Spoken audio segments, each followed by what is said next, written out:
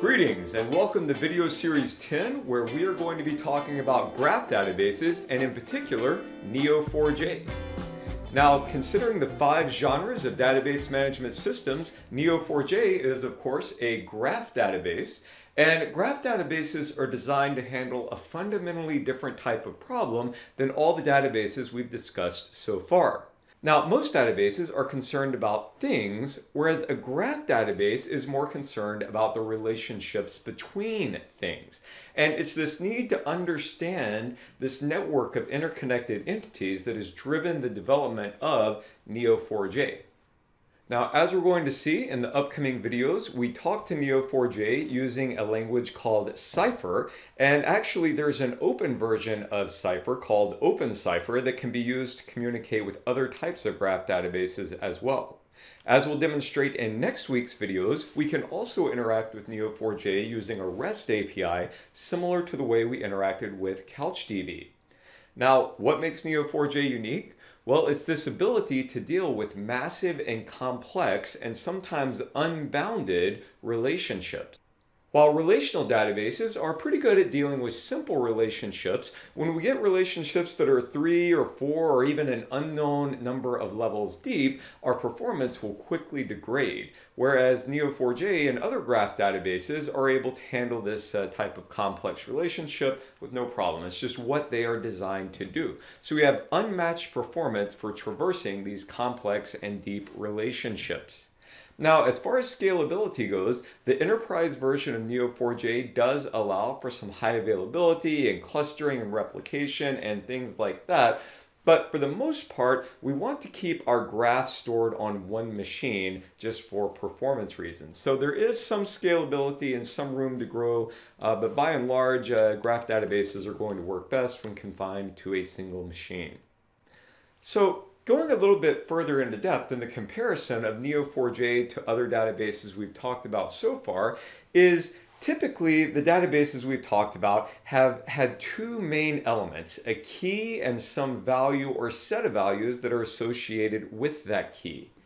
Our graphs, on the other hand, have three components, nodes, relationships, and properties. So we sometimes hear graph databases referred to as triples.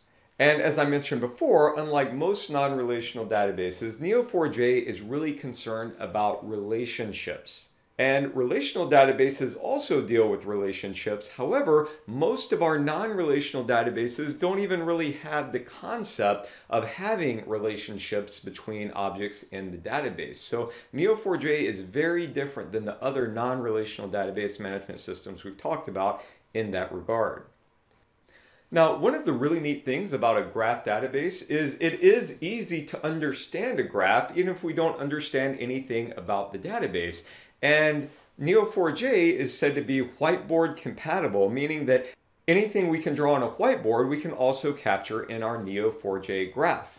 And our query language Cypher is what's called a pattern-based language. And they describe this as using ASCII art to represent the patterns that we want to query in Neo4j. So we have nodes that are wrapped in parentheses and relationships that are wrapped in these square braces, and then these dashes and directional arrows that describe the way the relationship works.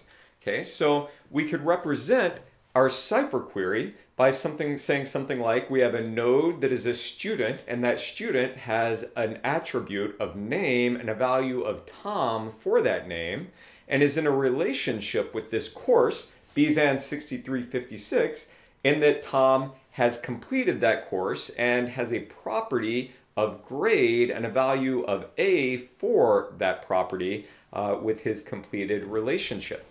And we might have another node that represents the professor of the course and that, and that professor has a relationship with the course in that they taught the course. And of course, we can have multiple students, we can have multiple courses, we can have multiple professors, and anything that we could think to be able to draw this out on a whiteboard, we can model this in uh, Neo4j and we can query it using the Cypher language. So we're going to see in the upcoming videos exactly how we go about doing that. So in video 10.1, we're going to have a little bit more of an in-depth discussion about uh, the benefits of graph databases and when their use is appropriate.